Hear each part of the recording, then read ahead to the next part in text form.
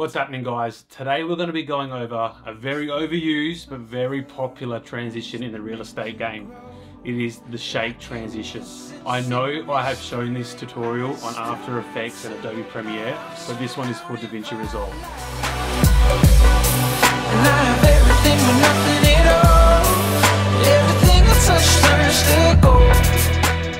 Hey guys, we're going to get straight into it. Now for the purpose of this tutorial and to speed it up, I have pre-color graded my clips and applied the speed ramps. If that's a tutorial you want to see, leave a comment. If I get enough interest, I'll make those in the coming weeks. So we have two examples. The first example is the G-Wagon in the garage.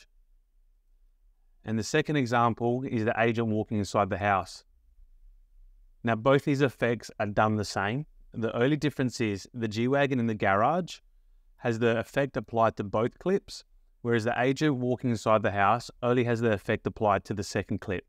That's what gives it that instant boom or sudden stop feeling as he walks in. Now I've got both completed uh, examples on a timeline. I'm just going to switch to another timeline that doesn't have the effect applied. So starting with the G-Wagons and the garage, Now, the first thing you will notice is I have the clips pretty well lined up. Now, they're not perfect.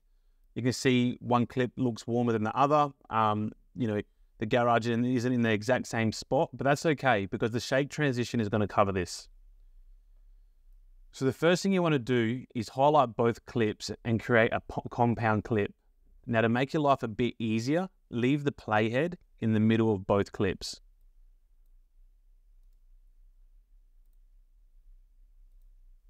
Once you've, once you've created a compound clip, head over to your color tab.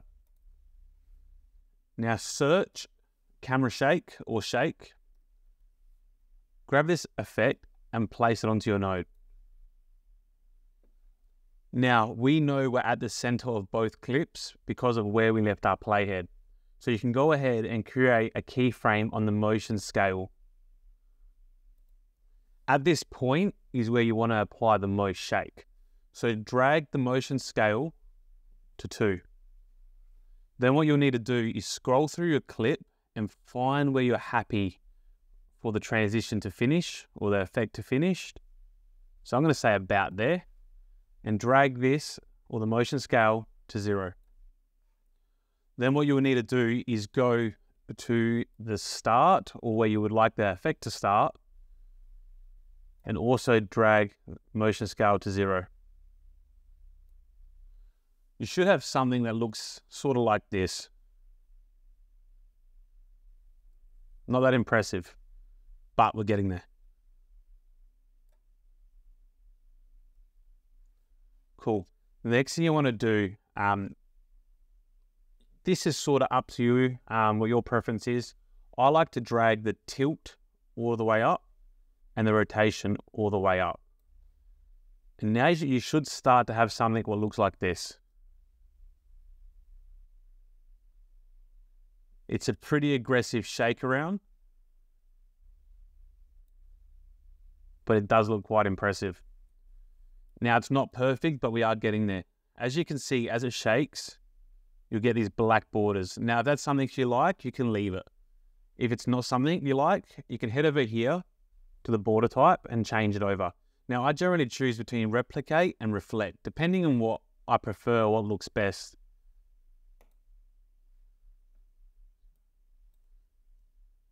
Oofed. Now it's starting to look how we want.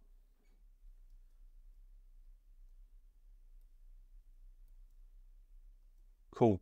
Moving on to the second clip. We're back into the edit tab and onto the second example. The agent walking inside the house. Now with this shake transition, what really sells it is that speed ramp prior to the shake transition.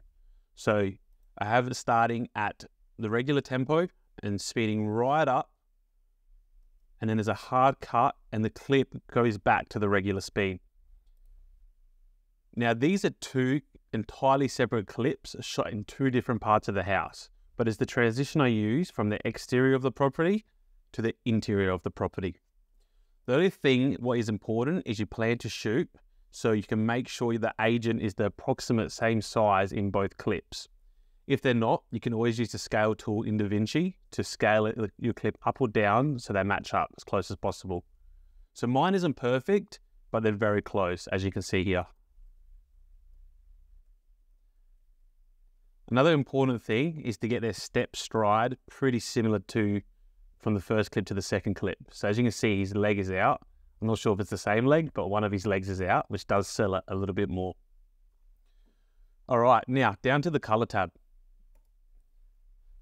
Same goes. So we've already searched shake. So we just want to apply that to the node. And at the start of the clip is where we want to apply our most shake effect. So up to the motion scale, drag it to two and hit the keyframe. Then what we want to do is find that sweet spot of where we want the effect to finish. Now I find if you stop it too sudden or too close to where it started, there's not much effect or it stops very abruptly. And if you take it the whole way to the end of the clip, there's just too much going on. So I find around the middle is a good spot. Now, considering the duration of this clip, I think where I've got it is about right. Now, what we want to do is up to motion scale and bring that right down to zero. At the moment, it's not looking that impressive. All right, so what we want to do, bring the bring it back to the start. So what I want to do now with this with this transition, I actually didn't play with the pan or the tilt. I just brought the rotation the whole way up to two, or sorry, the whole way up to one. And we'll try that again.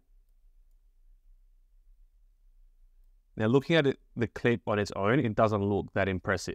But if we come back to the timeline and view both clips together, it looks pretty cool. I hope that helps, guys. I had so many people reach out to me and ask how to do that within DaVinci. I know it seems simple. It's only a couple sliders, a couple keyframes, and one effect, but it does add so much value to your videos. Hope you enjoyed, and I hope to see you in the next video.